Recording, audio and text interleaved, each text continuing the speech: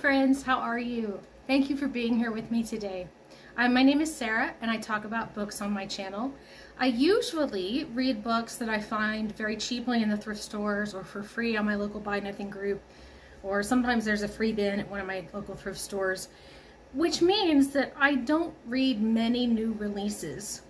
So today's video is going to be a little different because I just read a new release. The title of the book is The Ivies. It was written by Alexa Donne. It was published in May 2021, and I, yeah, it's July now. I think that still counts as a new release.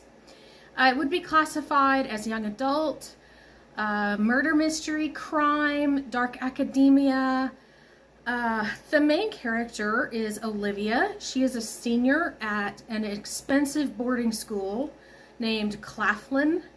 She is there on a scholarship and of course, she is surrounded by all these other students who are quite affluent. Their parents, you know, can pay for them to be there, can keep lawyers on retainer for them just in case anything goes wrong.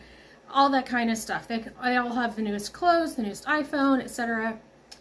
Um, so she has been accepted into a clique known as the Ivies. They are known as the Ivies because they are laser focused on getting into the top universities in the country. This is the US, by the way, which we all know as the Ivies, the Ivy League. They are so focused on this that they have been working together to sabotage other students who are also trying to go to the Ivies. And that all goes on, it's been going on their entire high school career. And then close to the end of their first semester of their senior year, somebody gets murdered. Yeah, it's a murder mystery. Somebody gets murdered. There has to be a body. That murder is followed by more twists and, and revelations, and I won't go into all those because I don't want to spoil the book for you. Um, but I will tell you some of what I didn't love and did love about the book. I, in spite of the fact that I read a lot of YA and I enjoy YA, I don't particularly enjoy the teenage narrator's voice, even though it was done really well. I have to admit, it was done really well. I just didn't enjoy it. I think part of that is because it was written in first person present tense and I I've been uncomfortable with present tense since the first book I picked up that was written in present tense. It just isn't it's not my favorite thing. I will say, however, that it was appropriate to this book. It was appropriate to the story that Donne was telling. So, you know, it's not my favorite thing, but that doesn't mean it wasn't well done or it wasn't chosen thoughtfully. It, it was right for this story.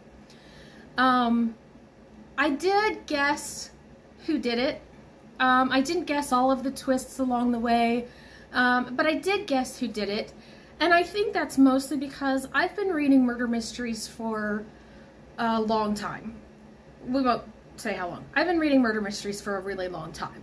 That said, I don't feel like Donne gave it away. I, I think she dropped some hints that I, I didn't see all the hints, and yet, um, even though I, I knew who had done it, I didn't see all the hints that I should have seen along the way. So I think Donne did a good job with that.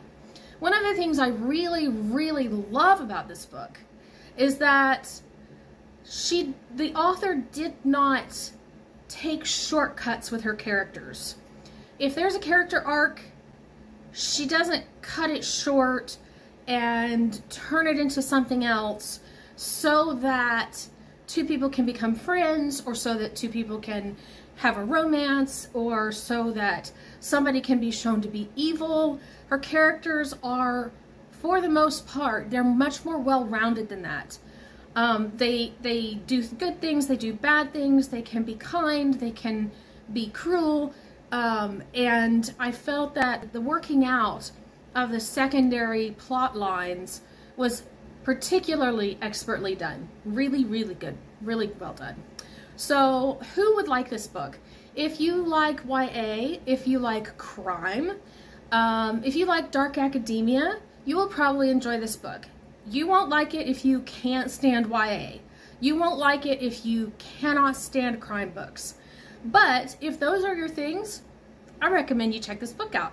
It's really well done. It does exactly what it sets out to do, and it does it well.